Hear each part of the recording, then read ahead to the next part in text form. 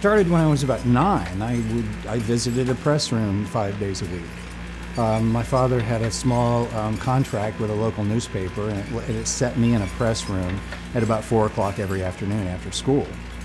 And when I saw the guys that worked in the press room, they were a hell of a lot more interesting than the people that worked in my father's business, the coat and tie people. These guys wore they wore funny hats and wife beaters and drank on the job. It was a different time. My father had a third or fourth grade education. He was a master sergeant in the United States Army. So when I told him that I had been accepted to school to study photography, he pretty touch, much told me there's no way in hell he was paying for art school or photography classes. But no, I was completely discouraged from being a visual artist. Thus, I dug in, and my inherent stubbornness brought me to where I am today.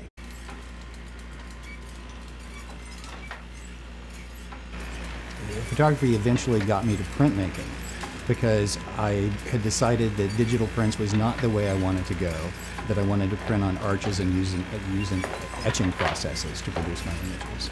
And that's when, it, that's when things began to blossom.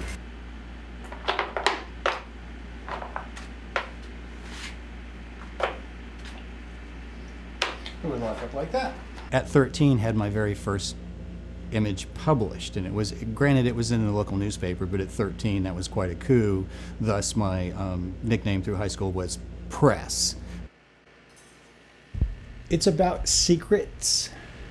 It's about identity. I mean some things some some things we want to show some things we don't want to show some things we want to hide away forever.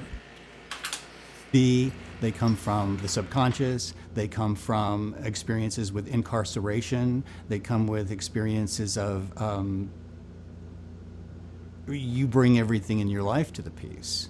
The ability to take a letter form, the alphabet, and produce work that causes people to think or possibly to exercise their compassion, I think it's a fairly as I said, I think it's right livelihood. With the 26 letters of the alphabet, we can say and do anything that we want to do. We are liberated. The name of the shop in Sangha and the tradition means community. It means a community of practitioners.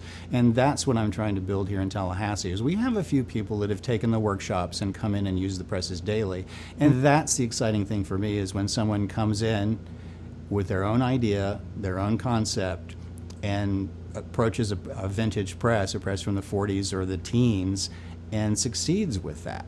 That's I'm quite pleased when that happens, and that's not what I aimed for when I opened Sangha Press, but it's a good place to be. What it's turned into is a form of dana, which is giving back because what I decided to do when it wasn't, when I discovered that we weren't financially viable here, was that I can close the shop or I continue to continue to run the shop on my own dime and have the beautiful luxury of passing on what I know to young folks important to be compassionate and kind to others. Take your skills and give those skills to the world. Do not hoard them to yourselves because of ego. Give the gift of yourself to this world, and you will be fulfilled. I approach that. I try, and I think that's all we can do.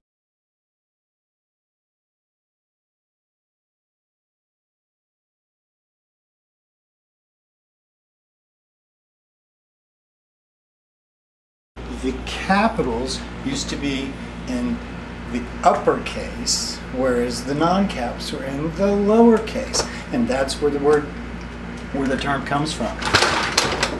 And the term mind your P's and Q's, and that's pretty easy to get confused. P's and Q's, B's and D's. Looks like a P.